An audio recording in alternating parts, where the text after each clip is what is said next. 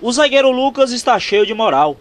O gol da vitória diante de Araguaína concretizou ainda mais a permanência do atleta na equipe titular. Eu acho que também não só os 11 jogadores que estão em campo, mas o grupo todo são todos titulares, né? O professor opta por 11 jogadores, né? Então quem entra tem a responsabilidade de, de fazer um, um bom jogo e ajudar o time à vitória, né? Graças a Deus a gente está conseguindo essa titularidade, né? E no, no sábado aí eu fui muito feliz em fazer o gol, que nos deu três pontos e uh, ficar na liderança do campeonato. Com passagens pelo Araguaína e Paraíso no futebol tocantinense, Lucas pretende conquistar o título estadual pelo Grupo I. É uma coisa nova aqui no, no Tocantins, né? Sempre é bom a gente é, buscar títulos, né? E aqui não é diferente, né? Espero que junto com meus companheiros que a gente possa fazer um bom trabalho e chegar à final e buscar o título desse campeonato.